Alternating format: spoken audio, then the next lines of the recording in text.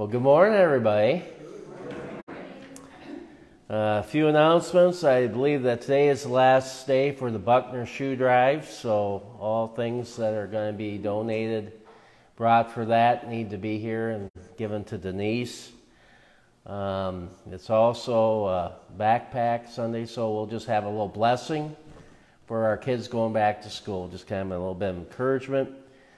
Uh, next Sunday is going to be a very special Sunday. Uh, Zane Gilbert will be being baptized as a part of that service. And then also, hopefully, we'll be able to maybe give away a few Bibles uh, to a couple kids and, and start off with uh, Children's Church. So we'll see how that goes next week, see what happens.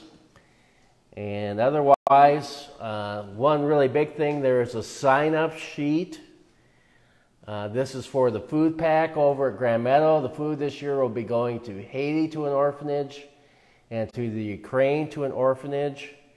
Especially that 6 o'clock shift is a, lot, a little harder to fill. So if you could volunteer to help with that 6 o'clock shift, it would be appreciated. Uh, just keep that in mind if you want to help with the food pack. Uh, but the sign up sheet is there. I'm going to try to get these numbers worked out uh, hopefully by next Sunday, you have a pretty good idea where things are going to land. So you can sign up, let me know what would be a possibility to work for that. It would be appreciated.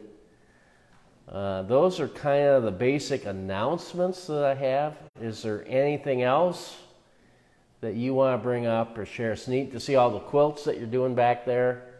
That's an exciting project. Anything else you want to talk about or share?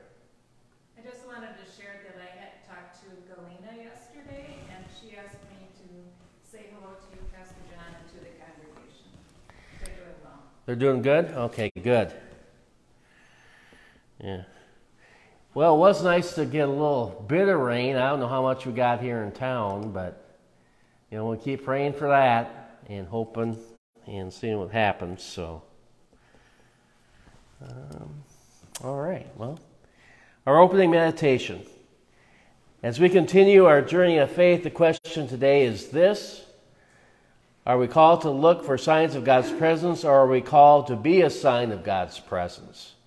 The answer, as you might expect, is yes. We are the ones who are trying to be tuned into God's wavelength, listening to God's broadcast. Therefore, we must look for the signs that God is at work in and around us always.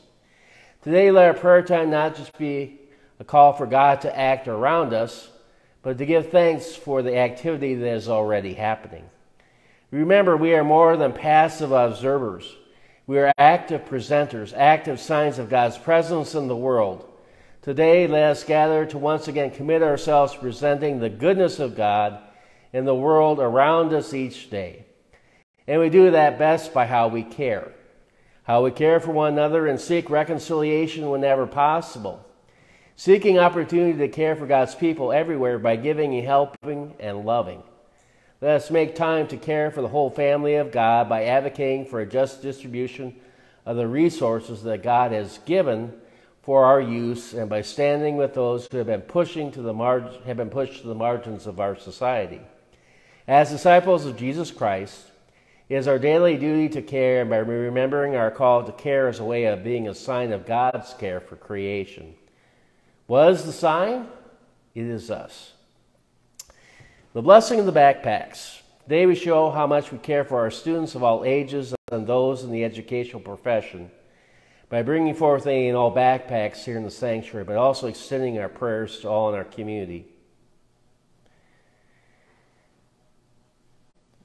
Congregation, will you fill the backpacks of students and those throughout our community with your love, prayers, and thoughts, support? If so, say we will.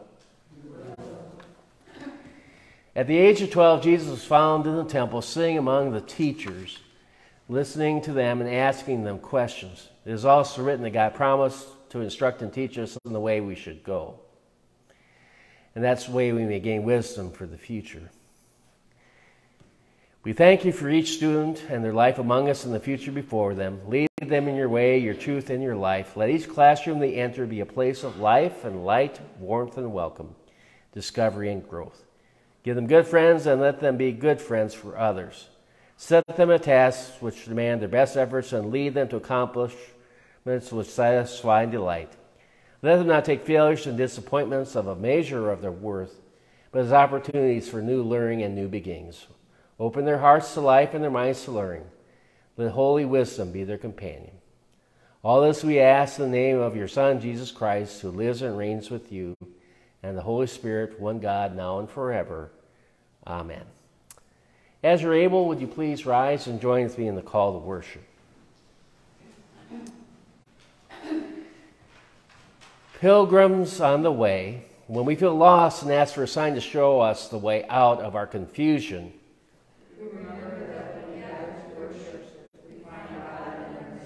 when we face obstacles and barriers that keep us from the life God has called us to,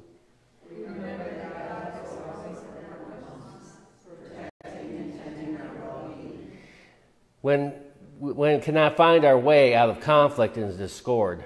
We remember that God calls and equips us for the work of reconciliation. When we struggle to pay attention to how God is work all around us. We remember God is called to sit, eat, and tell one another stories of God's faithfulness.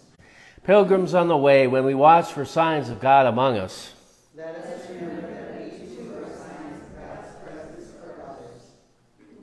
The prayer of confession. The act of confessing our sin is not simply a resuscitation of our faults and wrongs, but also an opportunity to receive God's mercy and share in that abundant grace. Confident of God's love for us, let our offers our prayers first in silence. Let's take a moment for silent prayer.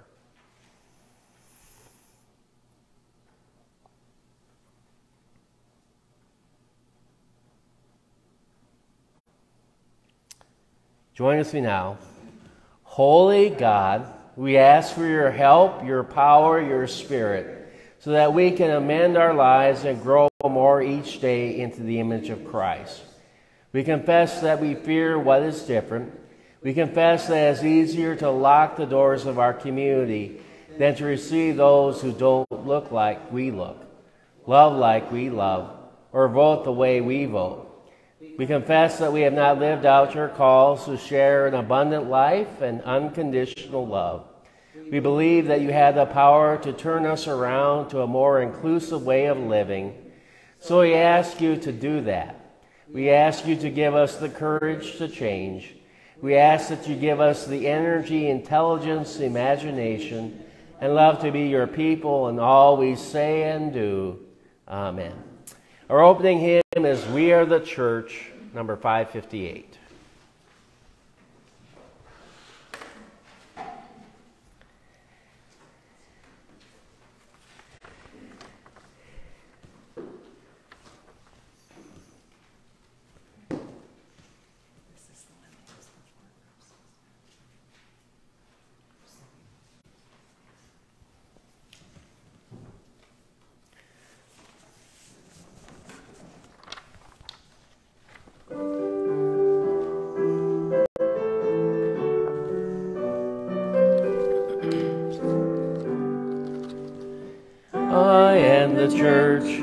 You are the church. We are the church together.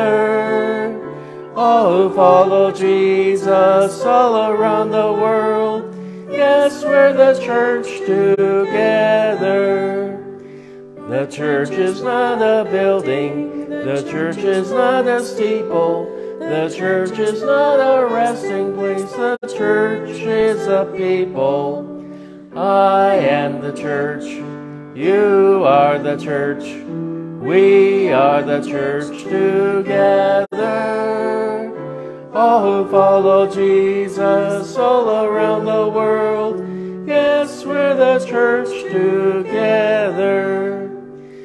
We're many kinds of people with many kinds of faces all colors and all ages too, from all times and places.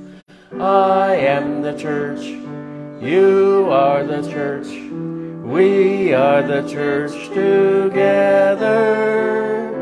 All around the world, all around the world, yes, we're the church together. Sometimes the church is marching Sometimes it's bravely burning, sometimes it's riding, sometimes hiding, always it's learning. I am the church, you are the church, we are the church together. All who follow Jesus all around the world, yes, we're the church together. When the people gather, there's singing and there's praying, there's laughing and there's crying, sometimes all of it's saying, I am the church, you are the church, we are the church together. Oh, follow Jesus all around the world. Yes, we're the church together. Please be seated.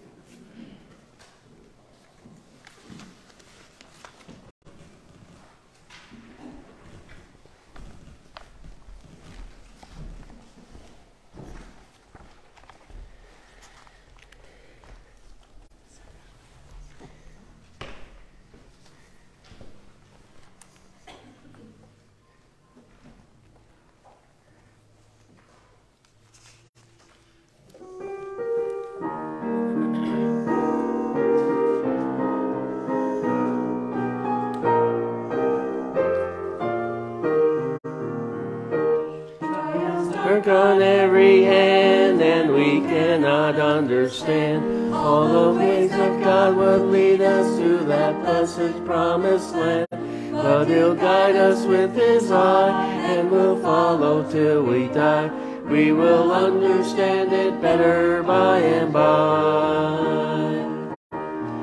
By and by, when the morning comes, when the saints of God are gathered home, we will tell the story how we overcome. We will understand it better by and by. Mountain tossed and driven on the restless sea of time. Rolling clouds and howling tempests of succeed bright sunshine in the land of perfect day. When the mist is rolled away, we will understand it better by and by. By and by, when the morning comes, when the saints of God are gathered home, we will tell the story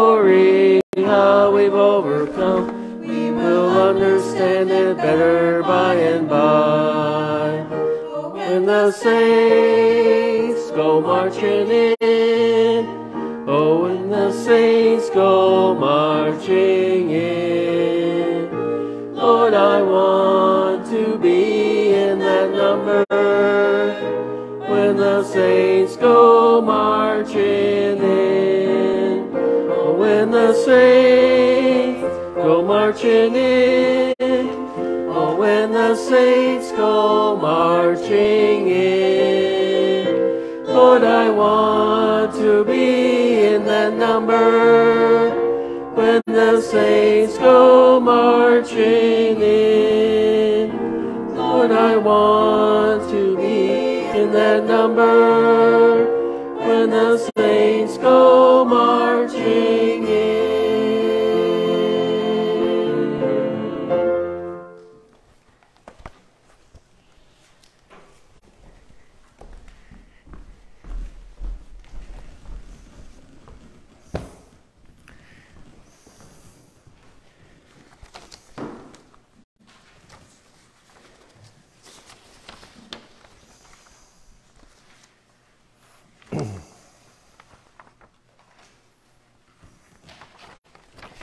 I'm going to read today from Matthew's Gospel, chapter 18, verses 15 through 20.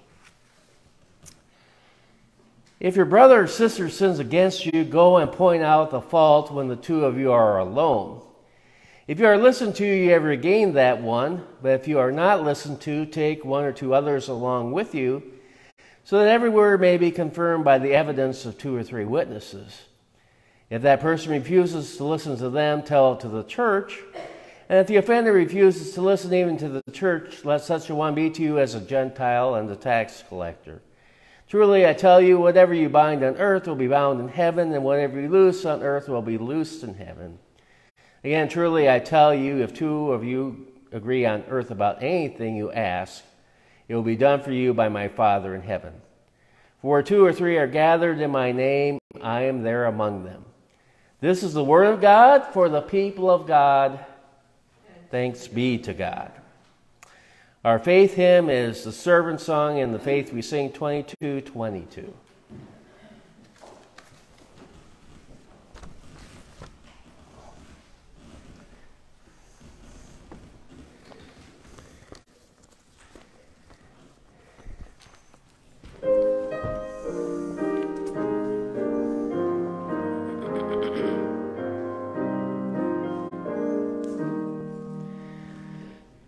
Brother, let me be your servant. Let me be as Christ to you. Pray that I might have the grace to let you be my servant too.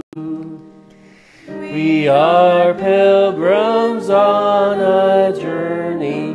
We are on the road. We are here to help each other walk the mile and bear the load. I will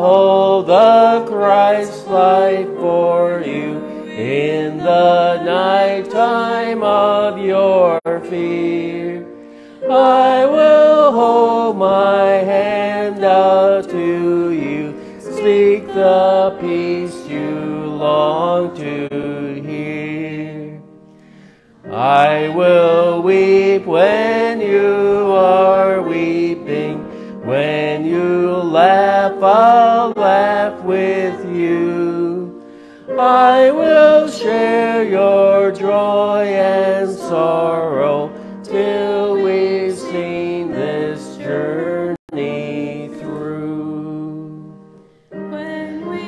sing to God in heaven. We shall find such joy.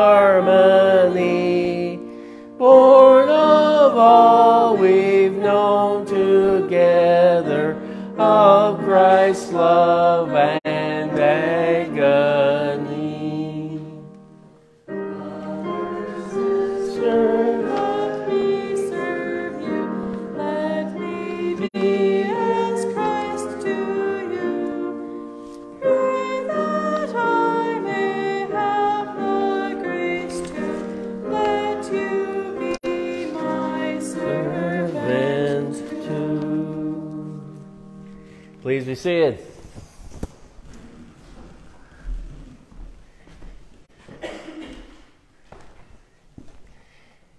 Ten year old David and his cousin wanted in the worst way to go to the movies. They knew if they went to a Saturday matinee, they could get in much cheaper, but they still had one rather large problem. They didn't have any money. And so his grandpa who came up with the suggestion, he said, You know, when I was your guys' age, I was able to get money by uh, selling tadpoles to guys that were going down to the marina to fish. Well, you mean night crawlers, don't you, Grandpa? No, no, tadpoles. They are much better bait than, than night crawlers, and I would sell them for 10 cents a cup. Well, where are you going to get tadpoles? Well, you go in the backyard, there's that marshy area back there, and there should be plenty of tadpoles back there. So the two boys grabbed a pail and a butterfly net, and they went out. Sure enough, they got in that marshy area, and there were plenty of tadpoles. They scooped them up, put them in the bucket, and they were ready to go out to the front of the driveway and start their new business. They had a card table, two folding chairs, and they had separated the tadpoles into small styrofoam cups. Dave's cousin had put up a sign that said 10 cents a cup, and they waited for the fishermen to arrive. And they waited, and they waited, and they waited, and nobody was coming. Then finally, a man showed up on a bicycle. He looked at the two boys and he smiled and he said, Why, here seems to be two enterprising young men. Ten cents a cup. Yep, ten cents a cup. David looked at him kind of funny because he couldn't figure out how this guy was going to go down to the marine to fish on that bicycle and things, but they handed the man a cup. And to their surprise, all of a sudden, he just took that cup and he gulped it down.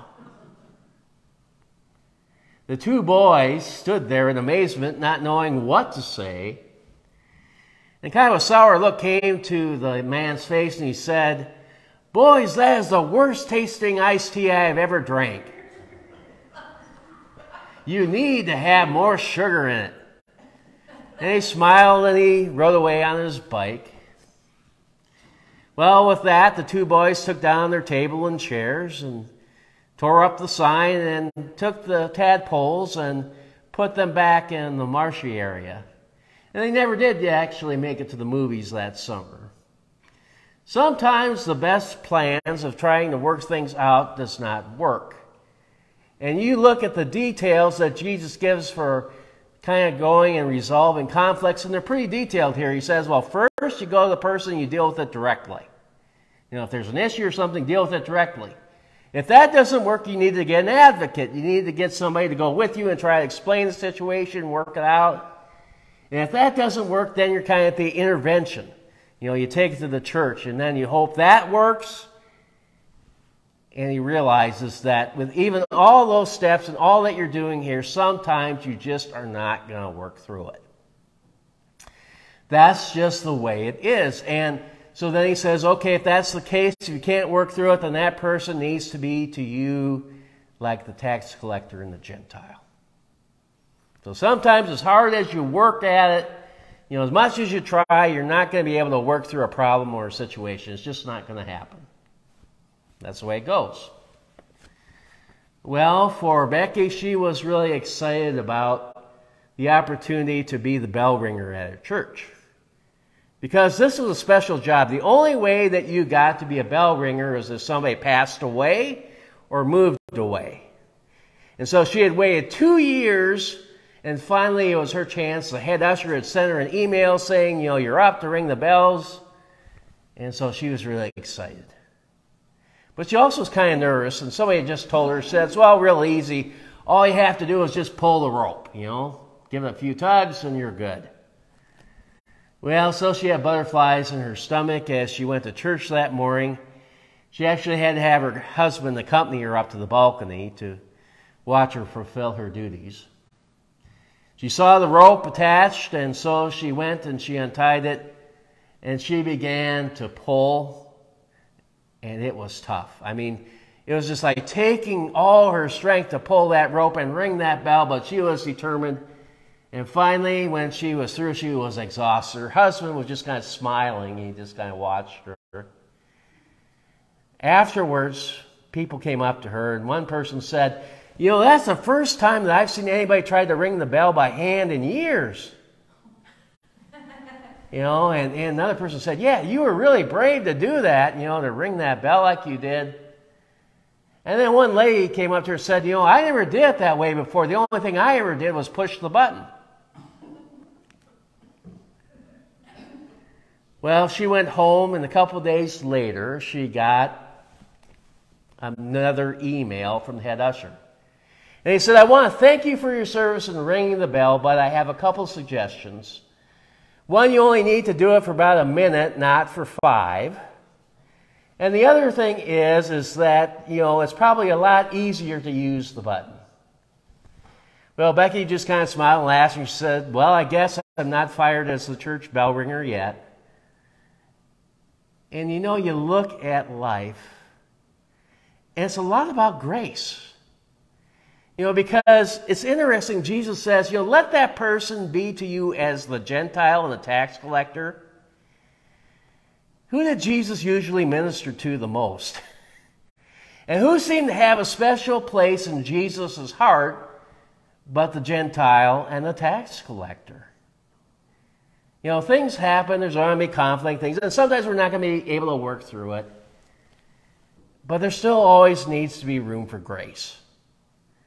And I think that's part of what Jesus is saying here as you look at it is, is that even, you know, when things don't turn out the way that we hope or expect or whatever, you do what you can to try to leave some room for grace and just see where it goes.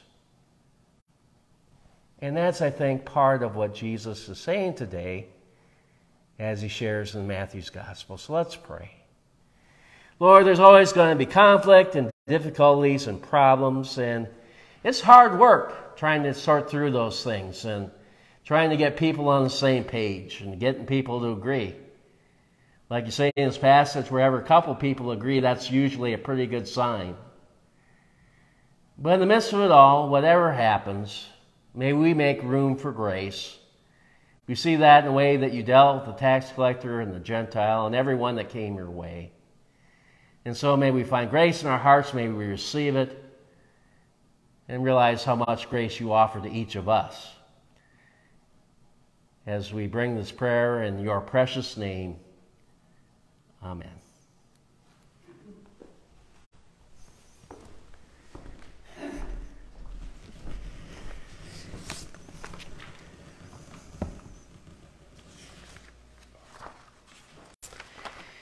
We now go to God in a time of prayer. Let us pray. Loving God, friend of the neglected and the despised folk, friend also of the cherished and honored ones, we offer to you our prayers for this world for which Christ gave his all. We pray for the overthrow of the arrogant and cruel, and for discontent in the souls of the greedy and the careless. We pray for the uplifting of the meek and merciful, and for the encouragement of the poor and the pure. We pray for the recovery of the bruised and the lost, and the peace of those who thirst for righteousness. We pray for the feeding of the hungry in body or spirit, and for the healing of those who are diseased in the body or mind. We pray for the comfort of the suffering and the grieving, and for the befriending of the lonely, timid, or socially awkward people. We pray for the humbling of the church if it becomes proud, and for courage whenever it is shunned or persecuted we pray for the strong and the weak in this congregation and for the spiritual health of all other churches in the community. You, holy friend, are more eager to give than we are to receive. Deal firmly with your servants gathered here now, that we get rid of everything that clutters our souls and make way for all the new blessings you have in store for us. We want to continue to always pray for rain and for the renewal of uh, the earth and, and just for those especially suffering from natural disasters throughout the world, where there's been fire and earthquakes, hurricanes. We pray for our food pack coming up and the other activities of our church and congregation. We just pray for our kids in school and teachers. Again, we know that your grace is always there. Help us now as we pray the prayer that you have taught us. Our Father, who art in heaven, hallowed be thy name. Thy kingdom come, thy will be done, on earth as it is in heaven. Give us this day our daily bread, and forgive us our trespasses, as we forgive those who trespass against us. And lead us not into temptation, but deliver us from evil. For thine is the kingdom, and the power, and the glory forever. Amen. This time we will have the receiving of our offering.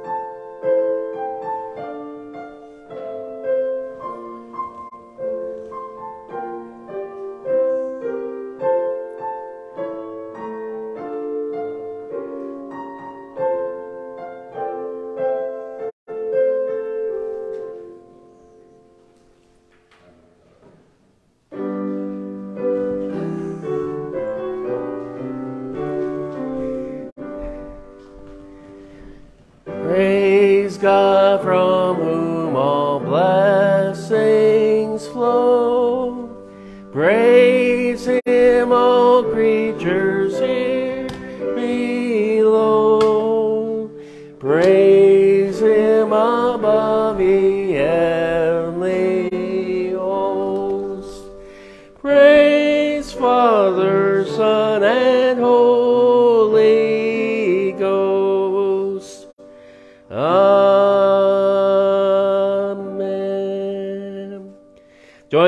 offertory prayer. God of love and compassion, we ask you to dedicate the tithes and offerings we bring to worship. We do this in the hope that you will do more with them than we could ever do on our own to heal the brokenness and division in our world. Remind us that the work of reconciliation does not our list because we have put something in the offering, and that mission field is within our arm's reach. This we pray in the Redeemer's holy name, Jesus the Christ. Amen. Our departing hymn is 473 Lead Me, Lord.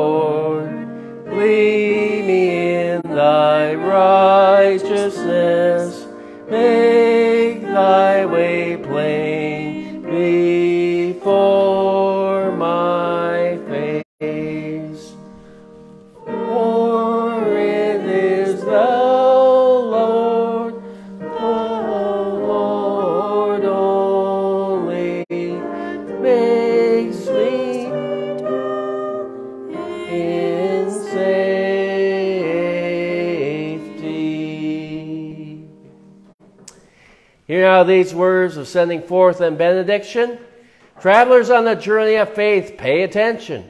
God's work all around you. May you go ready to witness the signs of God's love in your midst and be a sign of God's love wherever you go. Amen.